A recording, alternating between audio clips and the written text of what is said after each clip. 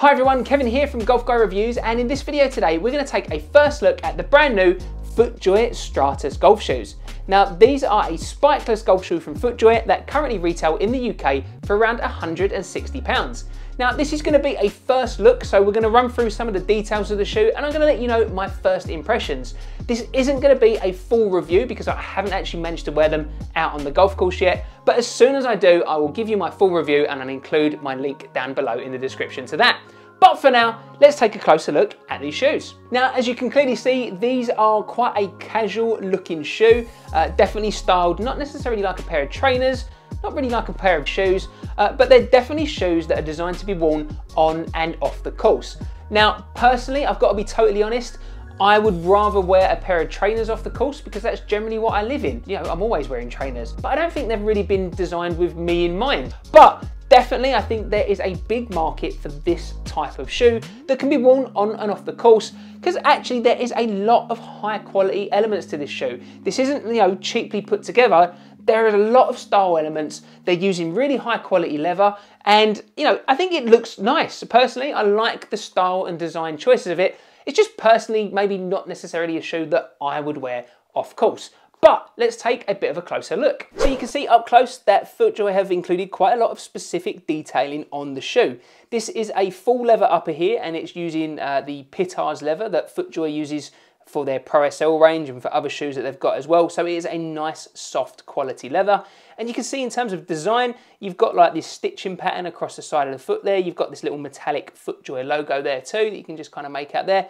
And you can see you've got slightly different textured elements as well. So going around the laces here, you've got this kind of uh, speckled pattern there. Um, and actually you've got that same kind of alternative leather there around the heel and ankle area as well.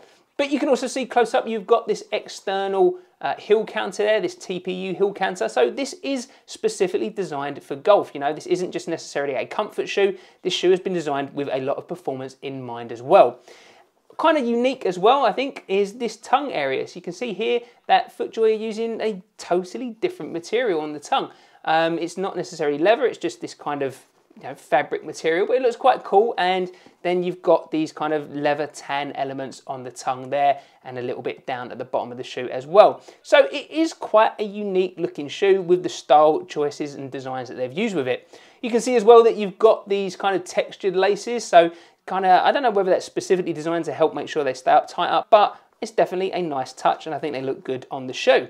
Now, in terms of comfort of the shoe, I've worn these kind of around the house and I've worn them kind of when I took my son for a walk. And I've got to say that they are incredibly comfortable right out of the box, which is a real kind of key feature of these shoes. FootJoy are using their new StratoFoam. So you can see here that you've got a lot of this foam material, especially around the heel area, and it is quite thick at the front as well. And it is nice and soft. And I've got to say, just generally overall, it's just a really nice, comfortable shoe. The leather is nice and soft on the top and there's plenty of room in this shoe as well. So this isn't designed to give you a real close lockdown fit. This shoe is definitely designed to have a bit more of a wider base to it and be nice and comfortable. So if you like that wider feeling shoe that gives you a little bit more room in the toe box area, this could definitely be one for you. I haven't had a chance, as I say, to really test this shoe out and wear it out on the golf course, but in terms of the softness underfoot, I wouldn't quite say that it's up to the levels of, you know, the Adidas Boost foam or a Nike React foam, but for this type of shoe, this is very, very comfortable indeed.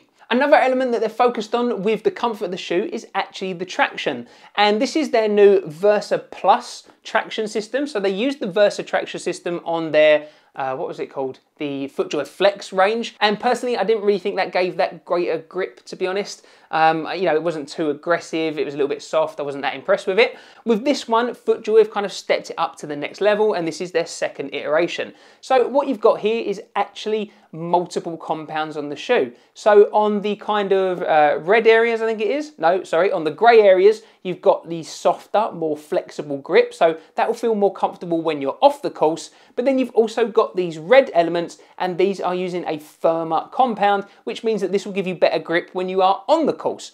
And FootJoy have actually designed this, if I bring this nice and close in there, I think they're calling it their anti-channeling system. So what it means is, is that they're hoping that you can kind of get some good grip on this and they won't clump up too much with the turf underneath on the shoe.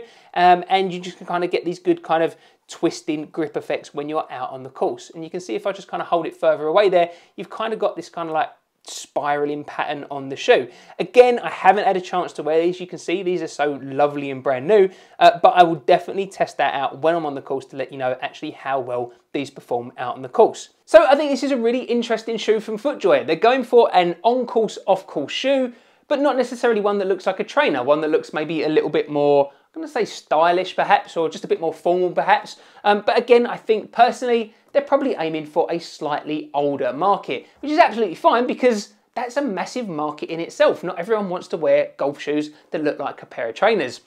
FootJoy have launched uh, four different colorways, I believe, in this. So you've got lighter and darker options. And as I say, they currently retail in the UK for £160. So if you are thinking about picking up a pair, I've included my affiliate links down in the description below.